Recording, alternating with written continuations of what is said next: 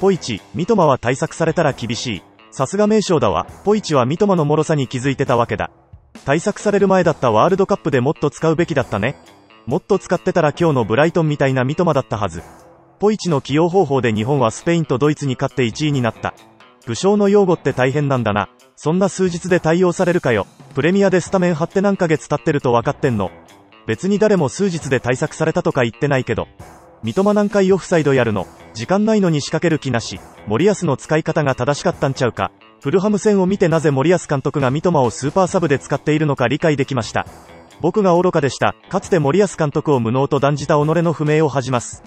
2週間前の三笘も久保も使いこなせねえ森保やべえ、からの、三笘やっぱり弱点も目立つ視野の使い方で森保正解だったんじゃ、に切り替わり。三笘下げは別にいいが森保は間違いなく無能。